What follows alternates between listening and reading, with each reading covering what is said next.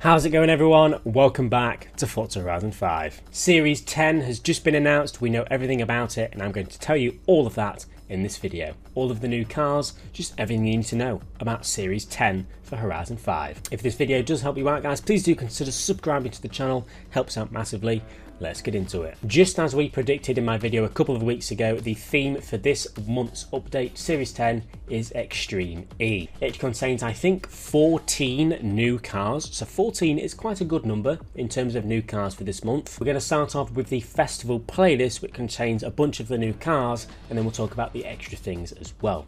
So the full festival playlist for Series 10. For the full series, for 80 points, you can get the first new car, the number 58 Extreme E vehicle, which I believe is McLaren Racing.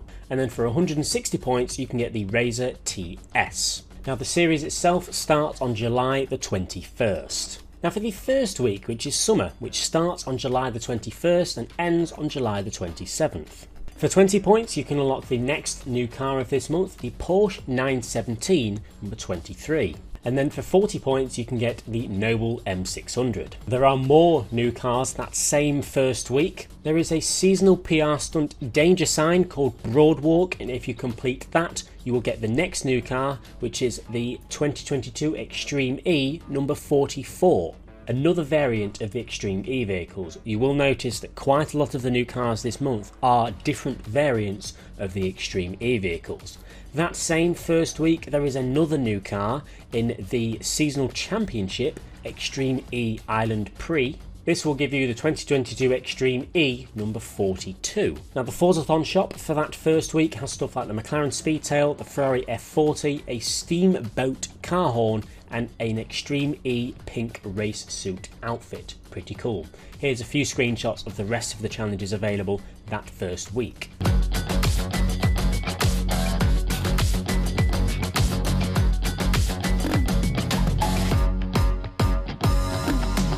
On to the second week, which is autumn, which is from July 28th to August the 3rd. For 20 points, you can get the next new car of this month, the Porsche 911 C2 GW. And then for 40 points, the Ferrari F8 Tributo. There are two other cars in championships and PR stunts. There is a speed trap seasonal PR stunt called Boulevard. I don't know how to say that. Once you complete that, you will get the next Extreme E vehicle, which is number 23 Genesys Andretti United. I think that's how you say it.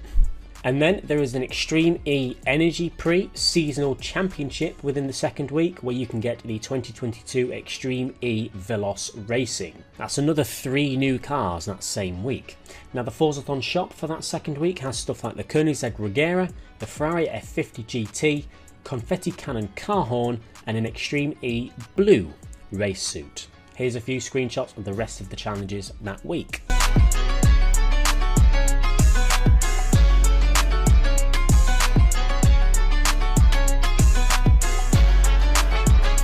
Now, the third week, which is winter, which goes from August the 4th to August the 10th. This has, for 20 points, the next new car of this month, the Emory 356C from 1964. And then for 40 points, the KTM X-Bow GT4. And then there is a La Cruz Danger Sign seasonal PR stunt, which if you complete, you'll get the next Extreme E vehicle, the 55. I don't know how to pronounce that. It's just another Extreme E vehicle. And then for a seasonal championship, you'll get the next one, 2022 Extreme E number 22. That's another three new cars that week. The Forzathon shop for that third week has stuff like the Ferrari 599XX Evolution, the Napier Railton, a Banjo Kazooie Spiral Mountain Part 2 car horn, and an Extreme E red racing suit. Here are a few more screenshots of the rest of the challenges available that third week.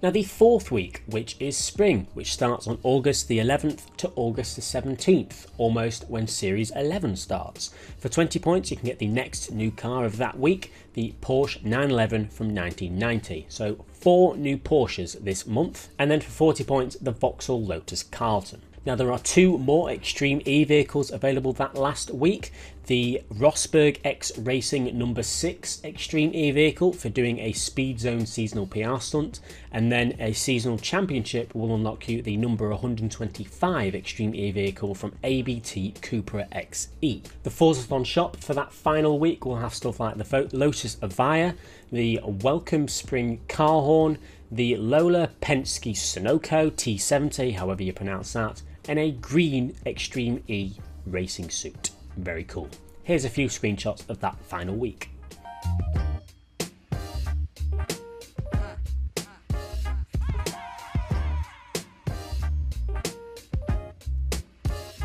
Now, those are 13 of the 14 new cars this month. The 14th one can be purchased from the Auto Show. If you go to the Auto Show, you'll be able to buy another variant of the Extreme E vehicle, number 99, GMC Hummer electric vehicle. So those are the 14 new cars available this month, 13 through Festival Playlist, one can be purchased through the Auto Show. There are a few other added customization things and bug fixes, we're going to cover them now. There is new car customization within Series 10 as well. Let me read you this. Series 10 will introduce new car customization options, including Hot Wheels signature red tyre compounds, 12 new Hot Wheels Spectraflame colours, and new Metal Flake paint options. These are available to all players and not just Hot Wheels players, so these are within Series 10 rather than the Hot Wheels expansion. There are some bugs and fixes, there's quite a lot of bugs and fixes, but here are some of the ones that they noted out. They are fixed an error message and a credit loss when bidding on cars in the auction house.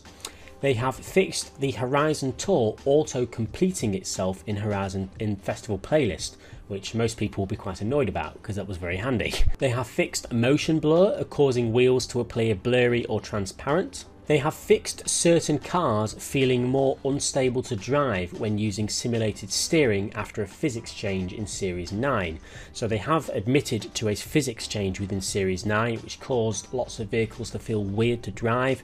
Now they have fixed simulated steering being an aspect of that. They have fixed the inability to challenge players into head to head races in the Eliminator if they were using the damage overlay. Very strange thing, but they have fixed that as well. Now they have noted something else about the festival playlist from this update because of the Hot Wheels expansion being added. This goes for people who don't have the Hot Wheels expansion and want to know if they can still get 100% on the festival playlist because the festival playlist now has Hot Wheels related challenges. Let me read you this.